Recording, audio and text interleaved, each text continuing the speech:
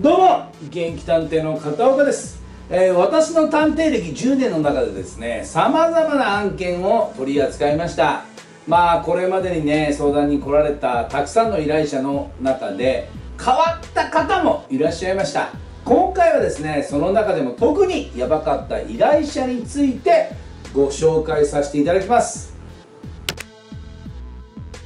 しかしね、えー、私が調査業を続けることにおいて最も大事な依頼者をただエピソードとしてご紹介するわけではなく私の動画をご覧いただいているあなたの周りにこんな人いませんかと。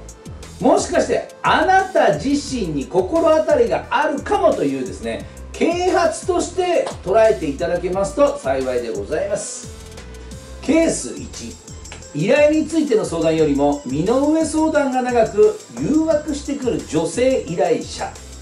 えー、こちらの依頼者はですね知り合いからご紹介いただいて相談に乗ることになりました。まあ相談内容はですね医者の旦那さんが浮気をしており、えー、証拠を抑えて、えー、離婚の準備を進めたいというものでございました。まあ直にですね対面させていただいて旦那さんの特徴やまあ、行動の傾向調査方法について打ち合わせをさせていただいて、まあ、小1時間ほどの調査スケジュールで、まあ、いろいろ決まったんですね。さらに契約締結の書類にも記入していただきました。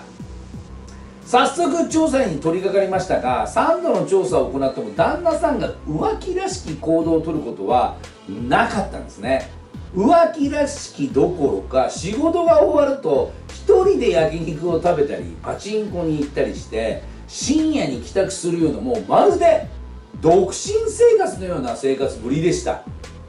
そして調査結果を電話で報告したところ明らかに落胆されている依頼者の様子にこれまでの私の経験上これだけの調査費用をかけても浮気の証拠が得られないことに対しての落胆だろうと思い今後の調査方法についていろいろ相談、まあ、提案させていただきました。まあ具体的にはこれまでの旦那さんの行動から調査の曜日とか時間帯をもう絞り込んで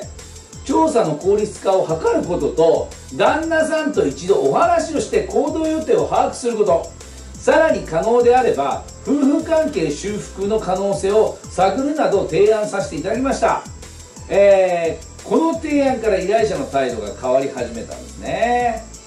そこから旦那さんの依頼者への冷たい態度の内容なぜそうなったのか。依頼者が関係修復に努めてきた内容。そもそも夫婦の出会いから結婚に至るまで結婚するために趣味や友達を断ち切ったことなどなどもう止まらないおしゃべりに 気づくと3時間以上経過してたんですよ。まあ私は別件の対応があったためまあ途中でね切り上げさせていただきましたがもう止めなければずっ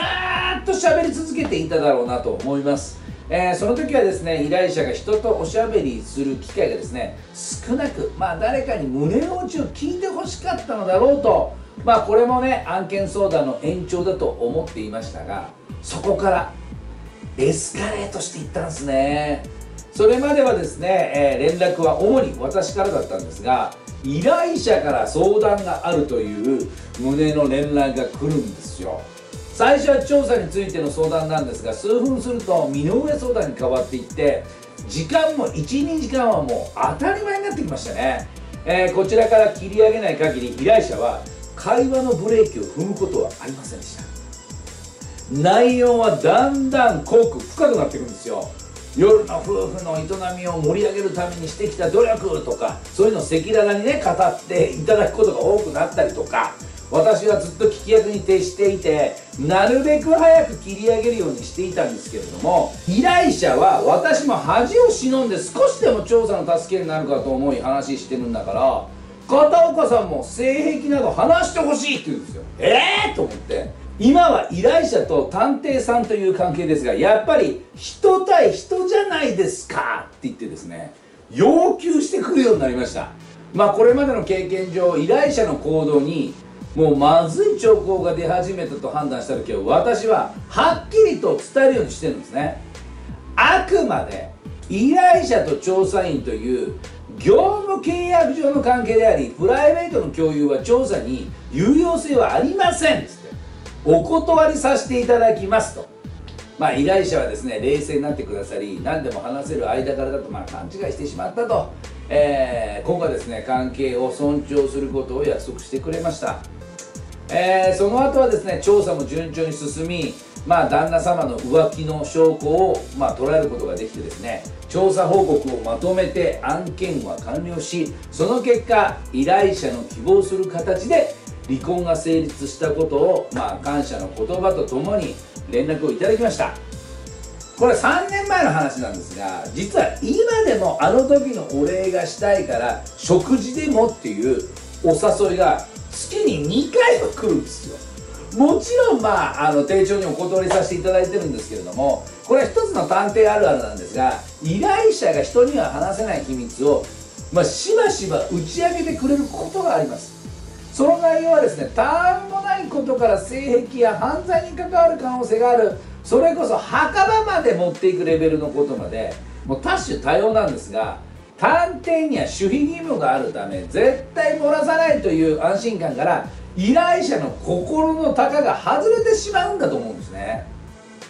そこから勘違いして特別な存在だと認識されて必要以上の関係を求められることがありますが断らないとどこまでも依存してくる依頼者がいますのでまあ中にはそういった依頼者と、まあ、結婚までね発展する探偵さんがいることもまた一つの探偵あるあるなんですね。ケース2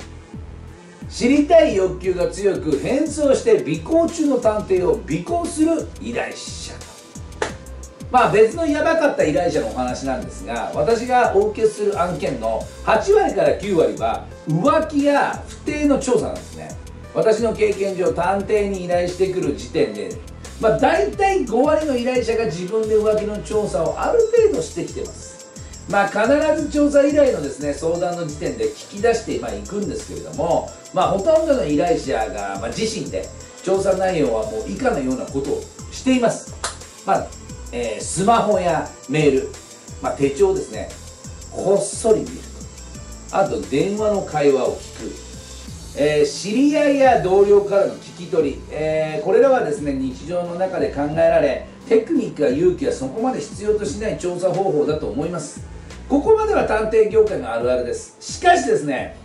ごくまれに自分で尾行の調査を行っている依頼者がいらっしゃるんです。これは自分の将来を考えた上で勇気ある行動だとは思いますが私は100%おすすめはしません。万が一対象者に疑っていることが発覚した場合は対象者の警戒心が急上昇することは当然なんですよね。えー、関係がさらにこじれて修復不能になる可能性が非常に高いんです。私はどんな依頼者でも離婚や別れを進めるために調査をすることはありません。もしかしたら調査の結果ね浮気の可能性が消えてただの勘違いで済むかもしれないし、まあ、逆に浮気の証拠が取れたとしてもですね、まあ、依頼者が浮気の証拠と冷静に向き合った時に関係修復の第一歩になるかもしれないという可能性にかけて調査に臨んでるんですよ。